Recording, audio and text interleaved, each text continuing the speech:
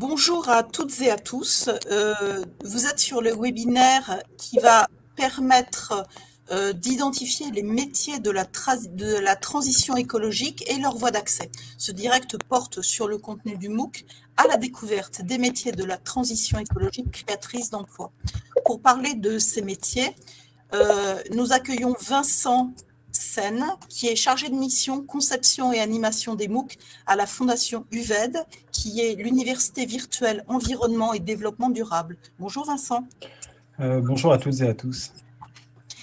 Pour euh, modérer ce webinaire, euh, nous sommes en compagnie de Gabriel et de Hugo. Bonjour, je m'appelle Hugo Fava, je, suis, je travaille chez France Université Numérique et je vais modérer ce forum avec Gabriel, ce webinaire, pardon. Bonjour à toutes et à tous, je suis Gabriel Sagnier, chargé de communication multimédia chez Fun et aujourd'hui je vais m'occuper euh, de la modération avec euh, Hugo. Donc nous allons euh, parler de quelques petites consignes techniques avant de démarrer et de creuser sur le, contenu euh, euh, de ce MOOC qui nous, qui nous occupe à présent. Euh, première chose, en bas à droite de votre écran, il y a une sorte de petite cloche. Je vous propose de cliquer dessus pour désactiver les notifications audio parce que à chaque fois qu'il y a quelqu'un qui va inscrire quelque chose dans le chat, euh, euh, il va y avoir un petit gling qui peut être désagréable. Le chat, justement, est le moyen par lequel vous allez pouvoir poser des questions et euh, nous espérons que vous en avez beaucoup sur les métiers de la transition écologique. À côté de la colonne chat, en haut à droite, vous avez une colonne sur les sondages. Je vous propose euh, d'y aller tout de suite pour nous dire euh, qui vous êtes, si vous êtes un lycéen, collégien, parent d'élève, membre d'une équipe éducative ou alors un adulte en, reconversion professionnelle. Ça nous permettra de, cibler un petit peu euh, le type de réponse aux questions que nous allons vous apporter. ce webinaire va durer 50 minutes il est 16h02 à 16h50, nous arrêtons. Et s'il y a euh, de toute manière trop de questions, eh bien, je vous inviterai à, vous inscrire de toute manière sur le MOOC, euh, le MOOC qui nous intéresse et nous préoccupe. Enfin, une dernière chose, à la fin de cette présentation, un mail va partir dans votre direction. Dans ce mail, il y aura un bouton qui vous permettra d'accéder à un replay, ce qui, euh, vous permettra de, revenir en arrière, euh, d'explorer les réponses aux questions, d'explorer la présentation. Et il y aura également dans ce mail le lien qui va euh, conduire directement au MOOC qui concerne les métiers de la transition écologique créatrice d'emploi il y aura un petit tuto qui vous permet d'ouvrir un compte sur la plateforme Fun et ensuite de vous connecter. Voilà, j'ai assez parlé. Maintenant, je donne la parole à Vincent. Merci euh, Sandrine. Euh, voilà, donc l'objectif c'est de, parler, de, vous présenter ce MOOC à la découverte des métiers de la transition écologique, créatrice d'emploi, un, MOOC qui a été conçu en 2019. Et je souhaitais, pour euh, commencer, vous montrer quelques petites vignettes sur cette diapositive en fait, ce dont je vais vous parler aujourd'hui, c'est en lien avec des, choses, des sujets dont on parle de plus en plus aujourd'hui. Alors, certains, nul doute que vous en avez déjà entendu parler quand on parle de, climat, d'énergie renouvelable, de protection de la nature, peut-être même avez-vous entendu parler de protection de la biodiversité, euh, développement durable, bien entendu, et puis d'autres sujets, peut-être dont on parle un petit peu moins, mais qui sont également de plus en plus présents. Je pense à l'économie circulaire, à la transition énergétique, éventuellement à des solutions fondées sur la nature, aux objectifs de développement durable des Nations Unies. Donc il y a maintenant dans notre environnement euh, tout un tas d'éléments, d'approches, de concepts, de démarches euh, qui sont engagés par euh, des acteurs comme bah, les États, les collectivités, les entreprises, des citoyens et même les étudiants. Vous voyez à droite le manifeste étudiant pour un réveil écologique. Donc il y a en fait une sorte de, de réveil en lien avec tous les changements environnementaux auxquels nous devons faire euh, actuellement face. Euh, donc cette introduction pour dire que ces, concepts, ces stratégies, euh, qu'est-ce qu'elle montre D'abord, elle montre un objectif, un cap, elle dessine finalement un monde plus souhaitable qu'un monde qui serait marqué par l'inaction par rapport à tous ces problèmes environnementaux. Ça, c'est un premier point qu'il est important d'avoir à l'esprit. C'est un monde qui, d'une certaine manière, dessine un monde avec un peu plus de, sens, une petite lueur finalement, euh, par rapport à toutes les inquiétudes que l'on peut avoir aujourd'hui. Ça, c'est le premier point. Et puis cela traduit également euh, un monde qui a déjà commencé à évoluer. Euh, nous n'en sommes pas qu'au début, les choses évoluent. Elles évoluent à, plusieurs niveaux. Et la question qui va nous animer aujourd'hui est de savoir comment est-ce qu'elles évoluent en termes d'emploi, en termes de métier.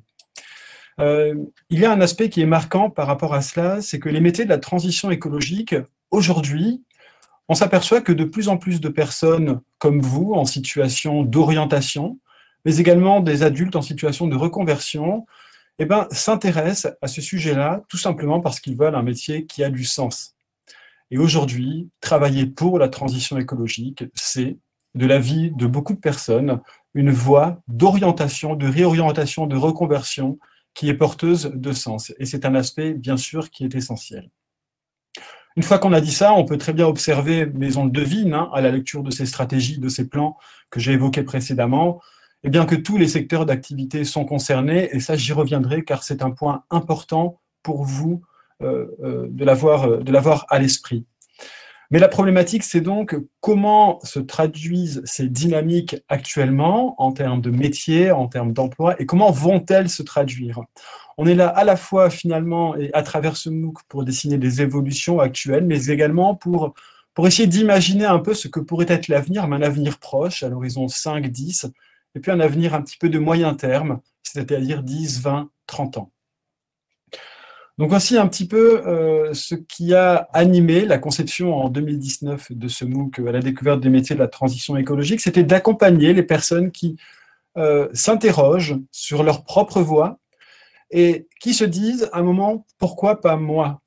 Pourquoi je ne participerai pas à ce projet qui est enthousiasmant? Parce que comme je le disais, il est porteur d'un, il est associé à un futur, un futur désirable, mais comment faire? Dans mon contexte, par rapport à ce que je sais faire, par rapport à mes compétences, à ma situation, à mes centres d'intérêt. Comment puis-je contribuer avec qui et comment pouvons-nous contribuer à ce projet enthousiasmant de transition? Il est un projet qui est tout sauf évident, euh, bien entendu. Donc ce MOOC, alors attendez, voilà, j'ai fait défiler trop vite. Voilà, donc ce MOOC proposé euh, sur la plateforme France Université Numérique est ouvert depuis 2019. Euh, enfin, s'il en est aujourd'hui à, sa troisième, euh, à sa troisième session, il est actuellement ouvert, mais on apportera peut-être des informations un peu plus précises tout à l'heure pour, pour y accéder. Mais d'abord, les objectifs. un premier objectif, c'est de déconstruire une, idée reçue, une représentation très ancrée lorsqu'on parle des métiers de la transition écologique. C'est que travailler pour la transition écologique, c'est travailler dans la nature. Eh bien, pas forcément. Alors, nous trouvons certes des métiers qui sont liés à la protection de la nature, des espaces, des écosystèmes, des espèces, mais en fait pas que. Je dirais même que ce type de métier, en fait, n'est qu'une minorité de métiers quand on parle de transition écologique. Car c'est un message important que j'appuie vraiment, c'est que travailler pour la transition écologique euh, peut être une réalité, peut se faire dans tous les secteurs d'activité. Alors on pensera bien sûr, en plus de travailler dans la nature, travailler dans le domaine de l'énergie, de l'eau, des déchets. Donc là, on pense vraiment aux grands secteurs liés euh, à l'environnement et à la préservation de l'environnement ou à la production d'énergie. Mais aussi la transition écologique, ça ne vous a pas échappé.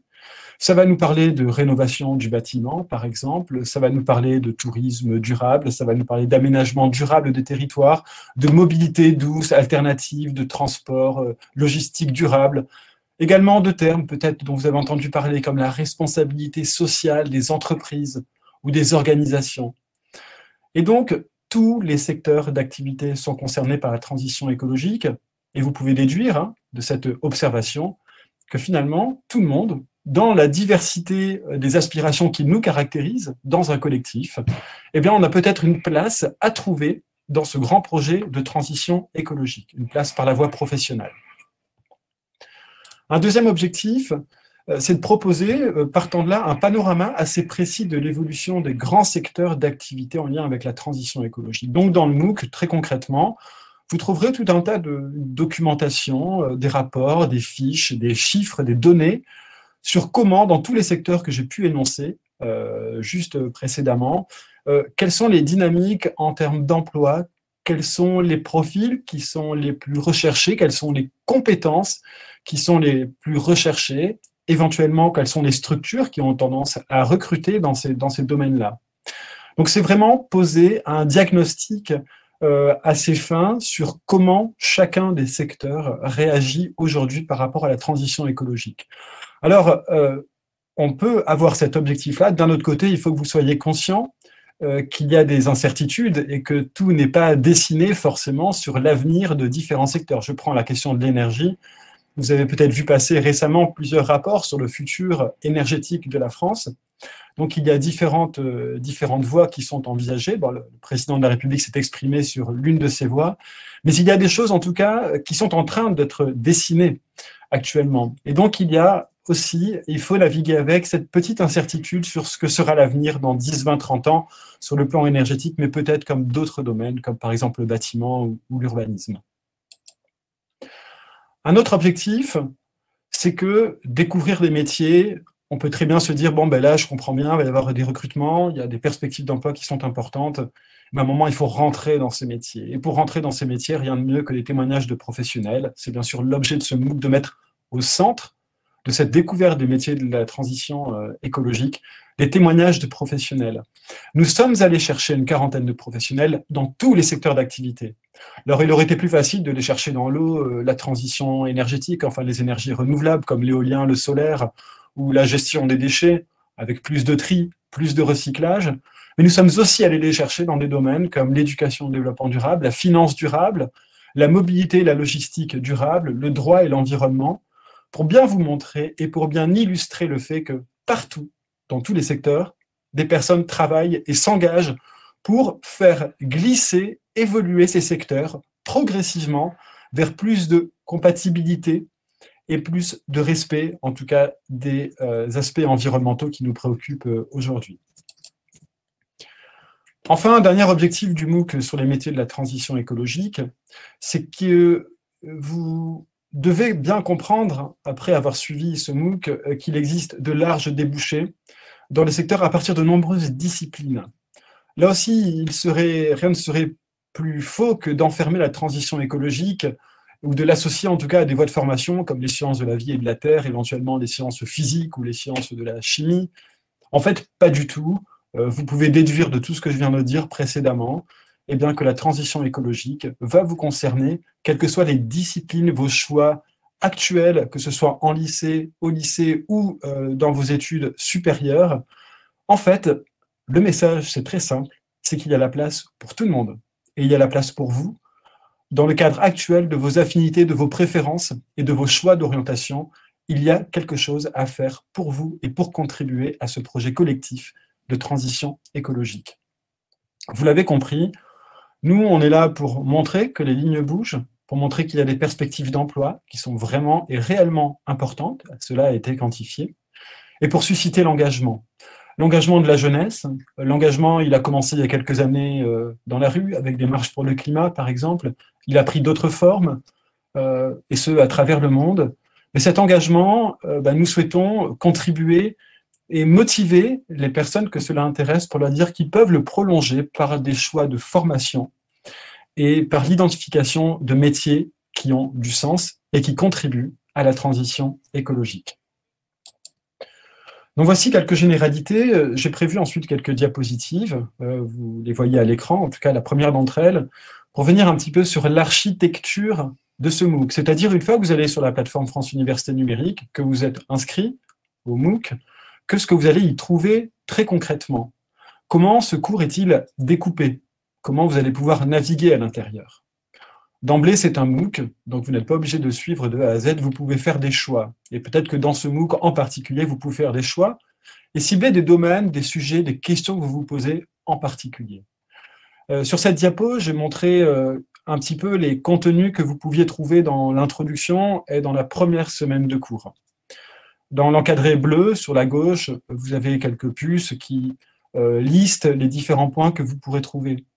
En introduction, on a voulu surtout poser un diagnostic sur la situation actuelle. Quelles sont les dynamiques? Quelles sont les tendances? Quand on parle de reconversion écologique, de l'emploi, de quoi parlons-nous? Quels sont les bénéfices attendus de cette transition? Quels sont les secteurs d'activité concernés? Tous, bien entendu, maintenant je pense que vous l'avez compris. Quels sont les types de structures qui jouent un rôle? Est-ce que ce sont les entreprises, les associations, les collectivités territoriales, la fonction publique d'État, donc les autres administrations? Quelles sont les compétences requises? Quelles sont les compétences recherchées? On dit souvent, la transition écologique, ce sont des nouveaux métiers, mais parfois ce sont des anciens métiers qui font simplement évoluer leurs compétences. On pourra peut-être en reparler. Quelles sont les conditions de travail? Souvent, on nous dit, je veux travailler dans la nature, mais même ceux qui travaillent dans la nature passent aujourd'hui beaucoup de temps devant un ordinateur. La transition écologique, elle va de pair avec une transition numérique, bien entendu. Donc comment tout cela s'articule et façonne les métiers de demain? C'est une vraie question. Et bien sûr, les grandes voies de formation, même si sur la question des voies de formation, eh en glissant sur les autres parties du cours, vous allez avoir des informations très détaillées. En fait, UVED, qu'est-ce qu'a cherché à faire UVED dans ce cours? Et c'est ce qui apparaît dès cette semaine 2, c'est d'identifier des secteurs d'activité. Et pour chacun de ces secteurs d'activité, euh, de rassembler un maximum d'informations. Alors, on va prendre les choses dans l'ordre. Les secteurs d'activité, dans la semaine 2, il s'agit des secteurs d'activité historiquement liés à la protection de l'environnement. Je l'ai évoqué tout à l'heure, il s'agit des questions d'énergie, d'air et de climat, de déchets et de ressources naturelles comme euh, l'eau par exemple, la protection de la nature, protection des espaces, protection de la biodiversité, euh, l'eau et le sol, l'énergie. Voilà. Pour chacun de ces aspects, le MOOC, c'est l'encadré que vous voyez à droite, va vous proposer plusieurs vidéos de témoignages. On a fait des vidéos courtes, bien sûr. Elles durent 4 minutes, ces vidéos. C'est pas très très long. Et toutes les vidéos sont construites de la même manière.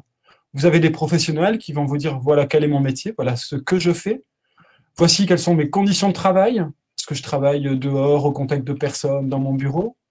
Euh, Quelle est la formation que j'ai suivie et quelle est la formation que je vous conseille de suivre? Donc, ce sont vraiment des conseils très, euh, très concrets pour vous orienter vers ces, métiers-là. Et enfin, une question qui nous semblait importante, c'est pourquoi ce métier a du sens? Qu'est-ce qui fait que, qu'est-ce qui fait le sel de votre métier? Qu'est-ce qui fait que le matin, en allant travailler, ben, vous êtes plutôt, je dis bien plutôt, content de le faire? Donc voilà un petit peu le premier aspect qui est important. Donc pour chacun des points que vous voyez dans l'encadré euh, violet sur la gauche, eh bien, vous allez avoir des vidéos de témoignages de professionnels. Mais ce n'est pas tout. Parce que pour recréer ce MOOC, on s'est entouré de différentes structures, de différents acteurs hein, qui travaillent sur l'orientation, et donc on a essayé de, cerner et de cibler quels pouvaient être vos besoins précis, concrets pour avancer dans vos réflexions. Donc nous avons proposé aussi des sites d'aide à l'orientation. Il n'en existe pas pour tous les secteurs d'activité. Donc ce sont des sites sur lesquels vous pourrez rentrer un peu vos préférences et puis cheminer de manière à identifier peut-être des familles, des métiers, pardon, ou des familles de métiers qui correspondraient à votre profil. Quand ça existe, c'est très très très bien fait. Des fiches métiers également, parce que des fiches métiers, des métiers, il en existe beaucoup. Et les témoignages vidéo que nous proposons ne portent pas sur tous les métiers, ce serait beaucoup trop volumineux. Donc les fiches métiers, là, on tend à quelque chose d'un peu plus exhaustif, même si ça ne l'est pas, mais en tout cas de beaucoup plus développé. Et ces fiches métiers, ce sont Là aussi, des aspects très pratiques sur lesquels vous trouverez une description du métier, les formations, les voies de formation associées, la rémunération, les possibilités d'évolution dans votre carrière, les compétences requises, la demande actuelle par rapport à ce métier, donc des informations qui sont très utiles pour vous. Ensuite, c'est l'une des parties qui nous a demandé le plus de travail pour construire ce MOOC. C'est une partie que nous actualisons bien sûr chaque année parce que les choses bougent beaucoup. Il s'agit de l'inventaire des voies de formation et c'est vrai que là, nous nous sommes focalisés sur les formations à partir de Bac plus 2, euh, ensuite à des diplômes de type master ingénieur. Mais en fait, ce que l'on veut montrer, c'est que différentes voies de formation peuvent permettre de travailler dans ces métiers. Il n'y a pas que des formations longues, mais euh, à partir du moment des BTS, par exemple, des IUT ou des licences pro, et puis en allant ensuite vers des masters ou des, licences, bien sûr, euh, des, des, masters ou des diplômes d'ingénieur, en fait, il y a beaucoup de voies euh, qui peuvent permettre d'accéder à ce travail. Et, donc ça aussi, c'est un message qui est, important, que les voies de formation sont variées euh, pour pouvoir accéder à ce type de métier. Vous avez ensuite des sites pour trouver des stages ou des emplois. Parce que toujours, en parallèle des formations, se pose la question euh, eh bien, euh, des stages que l'on va faire dans des structures engagées, dans des entreprises, dans des collectivités. Donc là, il existe des choses, nous les avons centralisées pour pouvoir vous les mettre à disposition. Et puis des offres d'emploi. Alors, c'est peut-être pas tant pour euh, savoir, tiens, voilà quelle offre, à quelle offre j'aimerais répondre. Mais je pense que ça a un intérêt pour vous qui est de regarder comment sont faites les offres d'emploi aujourd'hui. Qu'est-ce que les recruteurs recherchent actuellement comme profil? Et même si aujourd'hui vous n'êtes pas en situation forcément d'être recruté, peut-être certains d'entre vous l'êtes, mais d'autres pas encore, je pense que c'est toujours utile de voir un peu quels sont les termes, les compétences, les métiers, quels sont les mots-clés en fait, quels sont les profils qui sont recherchés. Et donc là, les, sites que nous, euh, dont nous faisons l'inventaire, en tout cas, peuvent être très utiles euh, à cet égard. Et enfin, dans euh, le dernier onglet qui est tout à droite de l'encadré bleu, c'est des, ressources complémentaires. Donc là, c'est pour bien marquer les tendances en matière d'énergie, de climat, de déchets. Comprendre les tendances et approfondir sa culture parce que faire des choix, c'est faire un choix de métier, mais ça va de pair généralement avec eh bien, une compréhension des enjeux qu'il y a derrière tous ces aspects sur lesquels on, aimerait pouvoir travailler. Quels sont les enjeux en termes de climat? Comprendre la question et la problématique climatique. Quels sont les enjeux en matière d'énergie et de transition énergétique? Donc comprendre ce que sont ces énergies renouvelables, quels sont les atouts, les forces et les faiblesses chacune d'entre elles. Donc voilà un petit peu euh, ce que vous allez trouver dans cette semaine 2 pour des secteurs d'activité qui sont historiquement liés à la transition écologique. Et puis pour la semaine 3, il s'agit de secteurs qu'on va qualifier de verdissants. Alors, ce n'est pas moi qui les qualifie ainsi, hein. ce sont les acteurs qui observent justement l'évolution des métiers euh, sous l'angle de la, transition écologique. Et donc là, ça peut être des secteurs comme le bâtiment, l'urbanisme. Alors, c'est dans l'encadré violet sur votre gauche, hein, on peut le lire ensemble. Donc, l'agriculture, l'alimentation, la mobilité, la logistique, l'éducation et la formation, la finance, le tourisme, les trois petits points derrière lesquels on peut mettre le droit, la chimie, euh, l'ingénierie, ou les sciences de l'ingénieur, je veux dire, euh, la responsabilité sociale de l'entreprise. Enfin voilà, c'est une liste qui, peut être finalement très très longue, car tous les domaines sont en prise avec cela, et dans tous les domaines, on observe euh, des transformations, et parfois une petite frange qui essaie de se transformer et qui essaie de tirer le reste de, ces, de ces activités.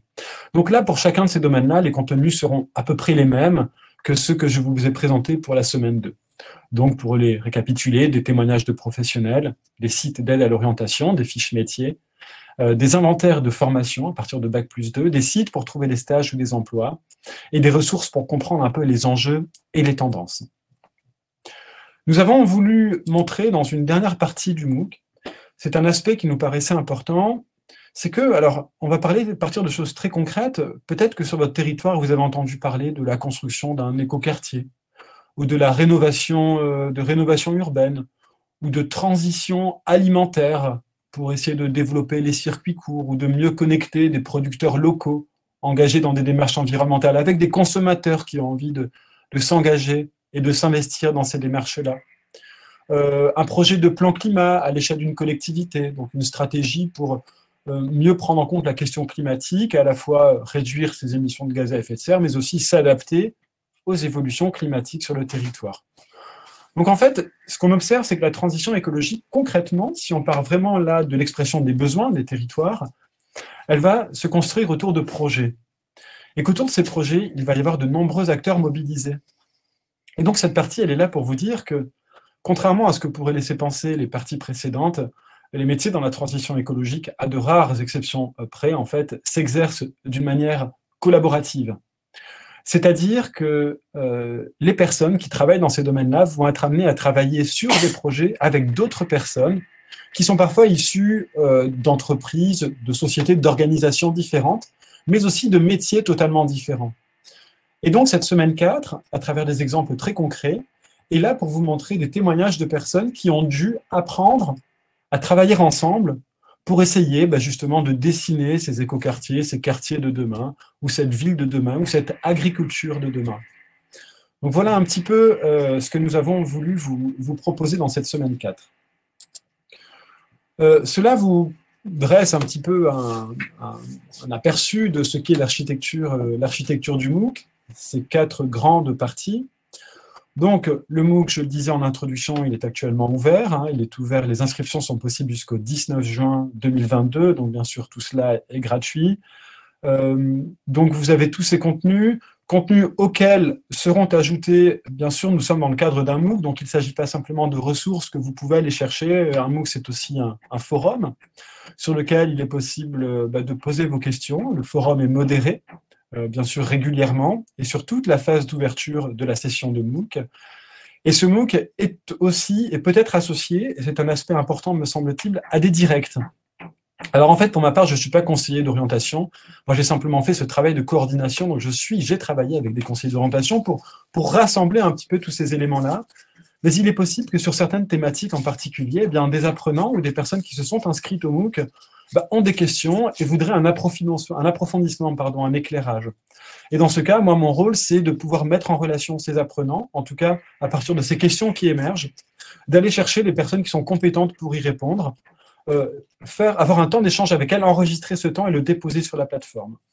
Donc là, il y a des choses qui sont tout à fait envisageables, mais ça, je dirais que ça dépend de vous, ou en tout cas, ça dépend des inscrits au MOOC, de savoir qu'est-ce qu'ils veulent en faire en fait de, ce cours qui a une base fixe, mais qui peut évoluer, comme je, viens d'essayer de vous l'expliquer.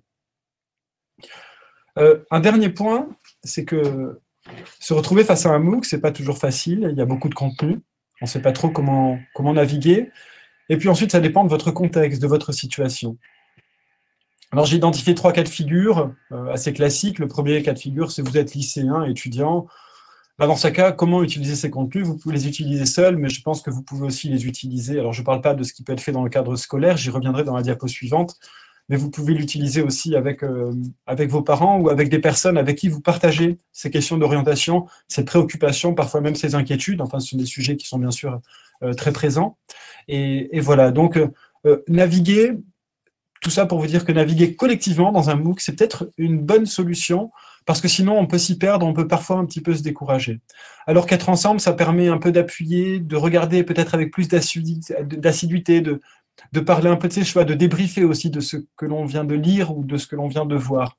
Et ça, je pense qu'en termes d'utilisation d'un MOOC, c'est quelque chose qui peut, être, qui peut leur donner à ces outils-là, en tout cas, davantage d'utilité. Alors ensuite, nous avons pensé, bien entendu, que ce MOOC, il fallait qu'il vive dans les classes, au niveau lycée, mais dans d'autres niveaux où il est question d'orientation ou de réorientation. Et pour ça, nous avons euh, produit une mallette pédagogique. Alors, euh, on peut la télécharger dans le MOOC, on peut la télécharger ailleurs. J'ai mis le lien, par exemple, en bas de cette diapositive. Cette mallette pédagogique, c'est simplement partir du constat que euh, les contenus de ce MOOC, en fait, il faut qu'ils puissent vivre en dehors du contexte MOOC. Et donc, ce sont des fiches qu'il est possible de télécharger. Et là, je m'adresse surtout à des personnes qui veulent animer, donc animer avec des élèves ou des étudiants des temps de réflexion sur l'orientation, et notamment l'orientation vers les métiers de la transition écologique. Donc, en fait, tous les contenus qu'il y a dans le MOOC, on les reprend dans des fiches que l'on peut manipuler, comme ça, très facilement et auquel nous avons ajouté une fiche, à la fin, une fiche atelier. Donc là, je m'adresse en particulier à des enseignants, s'il y en a dans, les personnes qui suivent euh, ce temps d'échange d'aujourd'hui. Euh, des ateliers qui sont très concrets. Ce sont des propositions pour, par exemple, si vous avez 30 minutes, 1 heure, 2 heures, voici comment vous pouvez utiliser ces fiches, comment vous pouvez utiliser les contenus de ce MOOC. Ça peut être, par exemple, pour réfléchir collectivement à ce qui est un métier qui a du sens. Peut-être partir de là, tout simplement. Ou travailler sur les représentations. Qu'est-ce que chacun associe à métier de la transition écologique? Qu'est-ce que ça veut dire? Ça peut être aussi utiliser, sélectionner 4-5 vidéos euh, présentes dans, ce MOOC. Et puis, euh, de manière individuelle, faire un travail d'analyse d'écoute et d'analyse de ces vidéos, savoir, bah de quoi la personne m'a parlé, quelles sont les compétences qu'elle a, est-ce que moi, ce métier, ça me fait envie Est-ce que j'arrive à me projeter dedans? Des questions très simples, mais tous ces exercices sont très utiles pour commencer à construire une réflexion euh, bah, pour aller vers, vers, ces métiers-là. Enfin, une dernière voie, c'est que nous, je vous le disais en introduction, nous avons à la fois des, demandes, un souhait de mobilisation et d'engagement de la part de la jeunesse. Ça ne vous a pas échappé à travers les marches pour le climat, hein, qui en sont, je trouve, un très bon exemple, une très bonne illustration. Mais aussi, nous avons beaucoup de personnes qui sont en formation continue. Alors, en, gros, la formation continue, la reconversion, c'est quoi Pour que tout le monde le comprenne bien, ce sont des personnes qui ont déjà un travail, qui se sont formées pour un métier, parfois il y a 5, 10, 15, 20 ans, et qui aujourd'hui veulent changer de métier. Et euh, dans ce MOOC, nous avons voulu pouvoir répondre aussi à ces personnes, parce que finalement, ben, on peut considérer que se former, c'est toute la vie, et que avoir un métier, c'est quelque chose qui est très important, bien entendu, mais c'est quelque chose qui n'est pas figé tout au long de sa carrière professionnelle, et qu'on peut faire des choix de réorientation, qu'il y a des structures, bien sûr, pour nous accompagner, pour réfléchir à cela, et qu'aujourd'hui, avec l'évolution du monde, de la société, eh bien, des personnes veulent réorienter, se réorienter et aller vers un certain type de métier en particulier. Donc, nous avons aussi voulu et souhaité que ce MOOC parle à ces personnes à travers tout ce qui existe autour de la formation continue, de la reconversion et toutes les voies de formation euh, possibles pour aider à ces personnes à réaliser cette, cette reconversion. Voilà.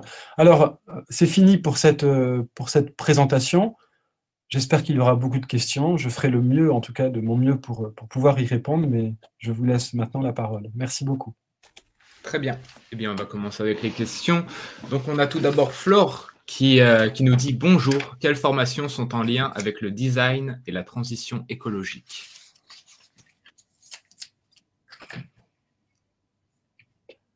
Euh, Alors, je pense qu'avant de parler des formations sur le design et la transition écologique, euh, parlons des besoins du design par rapport, quelle est la contribution à attendre du design par rapport à la transition écologique? Alors, de ce que j'entends, de ce que je vois, euh, il y a un, premier lien qui peut être intéressant, c'est celui de l'éco-conception. Euh, l'éco-conception, c'est comment est-ce qu'on conçoit des produits, alors je ne vais pas dire plus intelligents, mais des produits que l'on peut mieux réparés, qui sont plus sobres en matière et en énergie. Ce cap de la sobriété, j'en ai pas parlé, mais euh, il est très présent aujourd'hui dans les choix de conception et de design des produits. Donc, euh, voici le cap que l'on peut trouver. Euh, ensuite, répondre à cette question-là me renvoie à un constat que j'ai fait en faisant des recherches, c'est que la question de la transition écologique va être présente dans des formations parfois à part entière, mais que dans des domaines, notamment les domaines qui sont en voie de verdissement, comme le design peut l'être, ça prend aujourd'hui souvent la forme de modules, de perfectionnement. Donc vous allez dans des formations assez classiques sur le design, par exemple, mais vous allez voir que les responsables de formation ont souhaité eh euh, aborder ces questions, comme je le disais, de sobriété, d'éco-conception, peut-être de manière plus prononcée.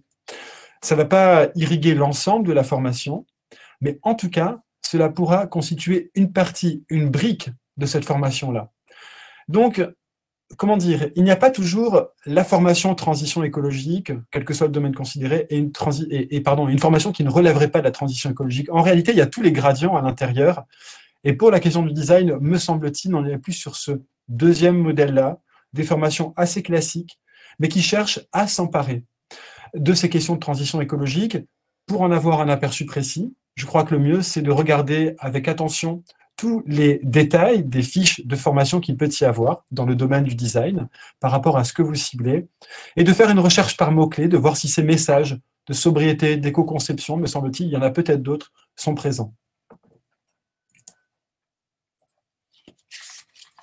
Très bien. On a une autre question de Flore qui demande Y a-t-il un diplôme national MADE spécifique en France?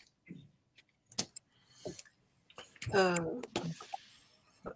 alors, le diplôme national MADE. Alors, est-ce que vous pourriez euh, préciser l'acronyme, s'il vous plaît, MADE C'est le DNMAID. Tu sais, c'est ce qui remplace les, euh, euh, les MANA. Qu'est-ce qu'il y a d'autre? Ça remplace aussi les DMA, les diplômes des métiers d'art, et les BTS en art appliqué. D'accord. Alors là, je ne là, je, suis pas en mesure de répondre à votre question. Je ne connais pas assez le sujet. Très bien. Donc, on a une question de Samuel qui demande est-ce qu'il y a des métiers liant économie, finance et environnement? Alors, oui, euh, il y en a d'ailleurs, fort heureusement. Euh, alors, nous avons des métiers autour de la finance durable.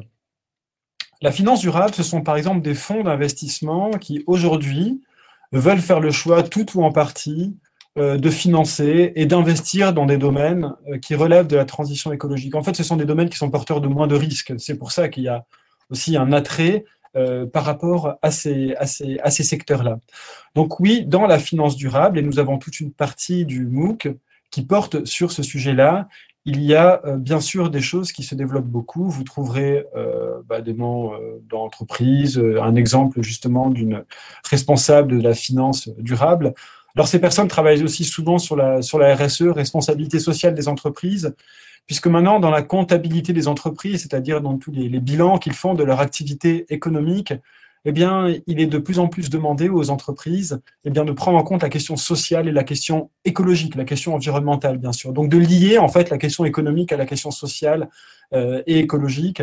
Et donc, cette compétence-là est aujourd'hui de plus recherchée et je dirais largement recherchée, euh, essentiellement, je dirais, dans, euh, dans les entreprises et dans les grandes entreprises qui ont l'obligation de produire de tels rapports. Alors, ensuite, on a plutôt une remarque enfin une question, mais qui porte euh, moins sur les métiers, euh, et qui est la suivante. Dites-moi si je me trompe, mais je trouve qu'il y a un grand nombre de personnes qui parlent d'agir dans l'intérêt de la transition écologique, mais je vois surtout beaucoup de gens qui en parlent ou encore proposent des solutions, mais il n'y a personne qui arrive à entraîner d'autres personnes pour faire avancer les choses, même si les solutions sont présentes. Donc, dites-nous ce qui manque pour que les choses changent et donnent envie aux gens de faire bouger les choses. C'est une vaste euh, question. Oui, mais c'est la question auquel on, se confronte. Euh, vous savez, par exemple, il y a des, et je remercie déjà l'intervenante, enfin pour, cette, pour cette, pour cette question et cette remarque. Euh, quand on regarde un petit peu quels sont les gisements d'emploi pour les 10-20 prochaines années, là, il y a eu des travaux de fait. On sait par exemple que la production d'énergie renouvelable, eh ben, on, embauche et on emploie beaucoup plus de personnes, c'est beaucoup plus, riche, on veut dire, en, main-d'œuvre que euh, des productions d'énergie plus conventionnelles comme le pétrole, par exemple. Donc, on a des secteurs comme ça qui vont se développer, la rénovation énergétique du bâtiment, par exemple. Et je pense à un autre domaine, bien entendu, c'est l'agriculture, le domaine de l'agroécologie.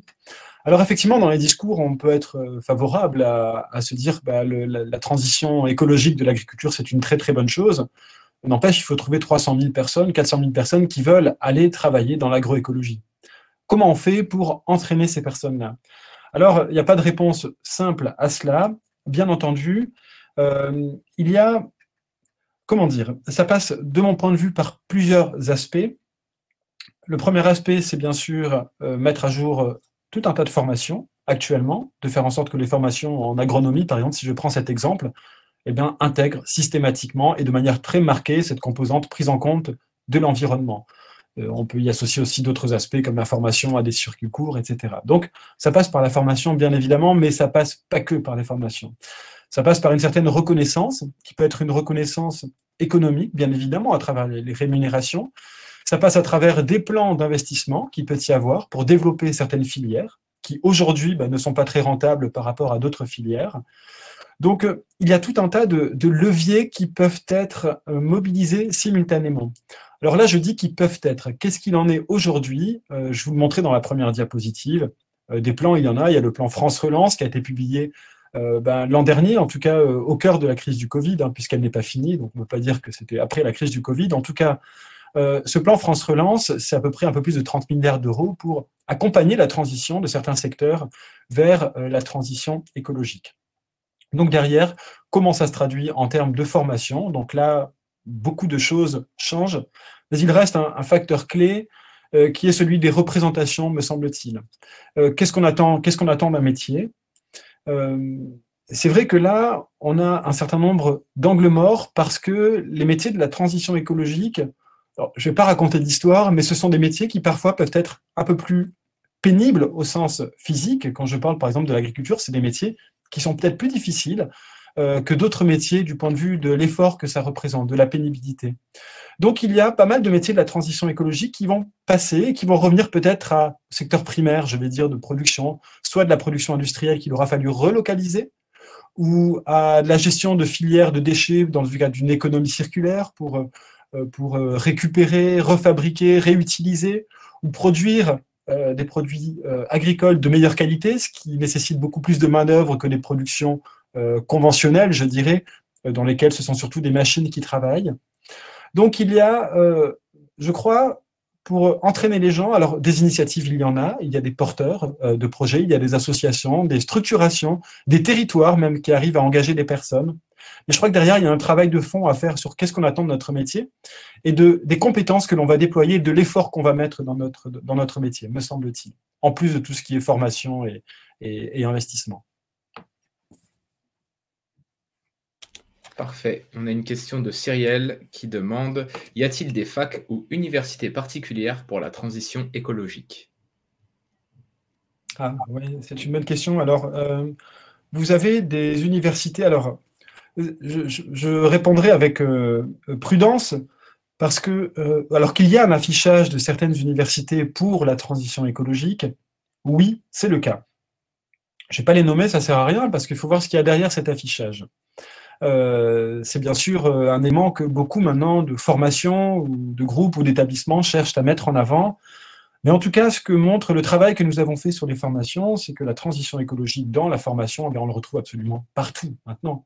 Mais vous savez, les responsables de formation, euh, ce sont pour la plupart, en tout cas hein, dans le supérieur, ce sont pour la plupart des enseignants-chercheurs qui essaient de relier, bien sûr, leur activité de formation euh, à leur activité de recherche. Donc, il serait euh, difficilement compréhensible d'avoir une forme d'archaïsme dans la formation, c'est-à-dire qu'on forme à l'ancien monde et puis on fait de la recherche dans le nouveau monde ou par rapport aux problématiques de demain. Donc il y a quand même une évolution, et je dirais ce dans tous les établissements. Ensuite, certains sont allés un petit peu plus loin, se sont dit ben, finalement, et je pense à des établissements, euh, mais peut-être que j'invite à aller sur le, sur le, sur MOOC pour euh, regarder cela. Les établissements ont revu leur offre de formation, parce que former à la transition écologique, c'est former à plus de transversalité. En clair, c'est pas continuer à proposer des ressources, je sais pas, en droit, en sciences économiques, euh, en sciences de la santé, donc en médecine, en verdissant un petit peu un côté de la formation. En fait, non, former la transition écologique, c'est peut-être justement euh, imaginer d'autres types de formations avec beaucoup plus de transversalité, dans lesquelles, par exemple, on a des modules dans lesquels on irait voir ce qui se passe dans d'autres formations.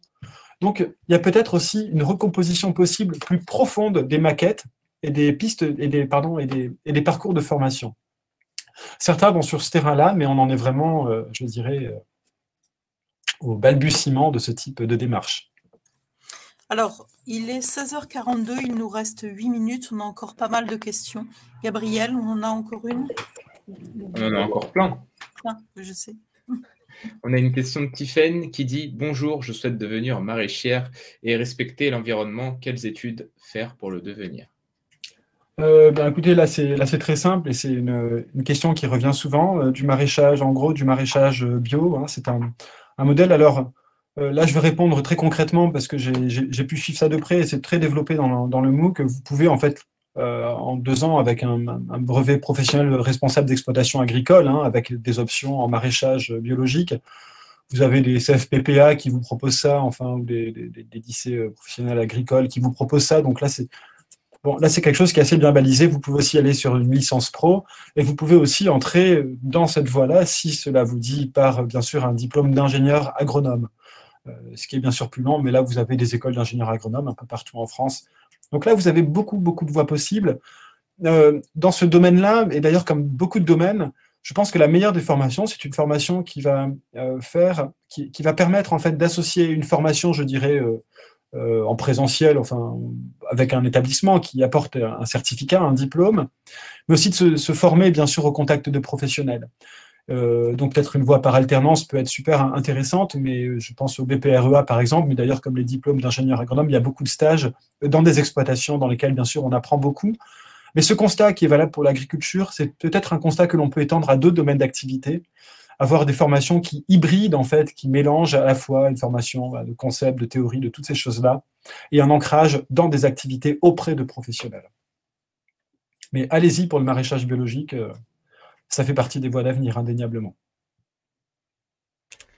Une question de Lucie qui dit Bonjour, je suis en première générale et je voudrais savoir quelle spécialité je devrais garder pour les métiers de la transition écologique. Eh bien, je dirais ne changez rien aux questions que vous vous posez. Euh, pourquoi? Parce que euh, la transition écologique, vous la trouverez partout. Donc, euh, ne perdez pas de vue qu'une orientation, il faut avant tout que ça nous tienne.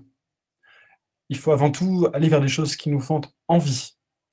Donc, continuez à, bah, à, regarder dans le paysage, essayez de suivre vos voies, ce pourquoi vous êtes, ce pourquoi vous êtes doué, dans quoi vous réussissez le mieux. Et vous verrez euh, assez vite, et dès la formation supérieure en tout cas, vous trouverez des formations qui, par rapport à ces domaines que vous avez souhaité approfondir, dans lesquels vous souhaitez être, euh, auront cette coloration verte. Ça, j'en suis même persuadé par rapport à votre calendrier, si vous êtes en première. Euh, les choses évoluent très, très vite actuellement au niveau des formations. On a Marco qui demande quels sont les métiers liés au sport et à la société dans ce contexte? Ah, C'est une bonne question, ça. Je sais pas. Euh,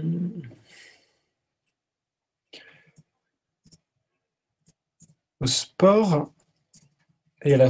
Alors, est-ce que vous pouvez me répéter la question, s'il vous plaît? Donc, le sport et la société dans ce contexte? Exactement, oui.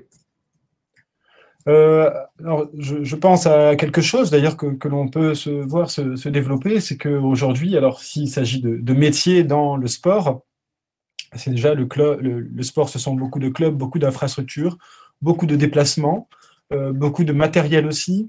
Et, je crois savoir qu'il y a des réflexions engagées par quelques associations ou quelques clubs sportifs euh, pionniers en la matière pour essayer de travailler sur l'empreinte carbone, sur la réutilisation ou la revalorisation des matières, sur euh, la structure des terrains aussi. Donc, euh, le sport, ce sont des infrastructures, voilà, des, clubs. Et, autant vous dire que là, il y a des choses à faire euh, pour accompagner justement les collectivités qui gèrent ces infrastructures, pardon, ou les clubs sportifs qui commencent à se poser ce type de questions. En fait, il y a des marges d'action à peu près partout, me semble-t-il, tellement par le passé, ça a été une préoccupation qui n'a pas du tout été prise en compte. Donc, Là, il me semble que les leviers sont, multiples. On a LGT qui dit Auriez-vous une école d'ingénieurs à conseiller proposant aussi une relation avec la transition écologique?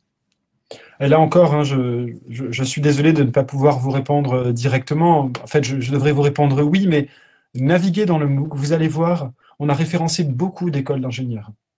Donc, euh, vous pourrez euh, déjà regarder ce qu'il y a et encore des choses non référencées sont peut-être des formations qui vont aussi euh, parler de cela, mais en fait, il n'existe pas de formation à la transition écologique. Il existe par exemple des formations en chimie qui vont avoir et qui vont développer le côté chimie durable ou chimie par le vivant. On va avoir des formations en droit, par exemple, qui vont développer à partir d'un certain niveau des formations de droit et environnement. Des formations en économie qui vont pareil à un moment faire économie et environnement, ou en sciences de l'ingénieur, par exemple, ou en numérique, qui à un moment vont dire numérique et environnement. Donc en gros, vous allez pouvoir les trouver, je pense, dans beaucoup de formations et dans plus en plus de formations. Très bien. On a une question de Aurore qui demande est-ce que des études plutôt littéraires sont compatibles avec les métiers de la transition écologique? Oui, absolument. Absolument, parce que euh, autour de la transition écologique, dirais que, je dirais que la, question de la culture n'est pas étrangère. Euh, je pense bien au contraire. Et d'ailleurs, souvent, euh, on observe des associations, je dirais, entre des personnes qui portent des messages, mais parfois très rationnels, des scientifiques, et puis des personnes qui euh, travaillent davantage dans le secteur de, la culture et dans tout ce qu'elle peut apporter pour, je dirais, dans un premier temps, transmettre, convertir des messages, leur donner du sens, leur donner de la chaleur, leur donner de l'intérêt, euh, les mettre aussi dans une perspective un petit peu historique, de savoir bah, d'où on vient. Donc ça permet aussi d'inscrire ce que l'on a à faire aujourd'hui dans des trajectoires un peu plus, je dirais, un peu plus, un peu plus globales, avec un passé, un présent, un futur. Donc euh, oui, il y a besoin du secteur de la culture pour accompagner la transition. Et je dirais que la culture n'est pas en reste parce que je vois passer, quels que soient euh, les pans de la culture que l'on peut considérer, eh bien, on s'aperçoit qu'il y a une prise en compte dans les différents arts, pour ne parler que euh, de la question environnementale. Et justement avec souvent une très très forte sensibilité. Euh, on a une question d'Eva qui demande que valent vraiment les écoles privées spécialisées dans l'environnement, telles que l'ESG Green, Green Management School, ah International Terra Institute, etc. Bah, écoutez, déjà, il y a beaucoup de ces écoles qui sont assez récentes. Euh, donc, euh, qu'est-ce qu'elles valent? Je pense qu'il faut le voir. Vous savez, il faut le juger objectivement. Il faut voir finalement en sortie d'études, c'est regarder un peu quelles sont les, quelles sont les compétences, quelles sont les, entreprises créées, qu'est-ce qu'il y a eu comme insertion professionnelle, dans quel domaine. Alors, moi, je n'ai pas ces données, donc je ne pourrais pas en parler. voilà, ensuite, il existe d'ailleurs, comme pour toutes les formations, toute une panoplie d'établissements avec des coûts, bien sûr, qui sont extrêmement variables. Donc ça, c'est bien sûr une composante qui, qui, est super importante dans les études supérieures. Voilà, donc, bon, je n'ai pas d'a priori par rapport à cela, mais je dirais que regardons un petit peu ce, qui en sort, et puis, et puis bien sûr, euh, qui est responsable de toutes ces formations.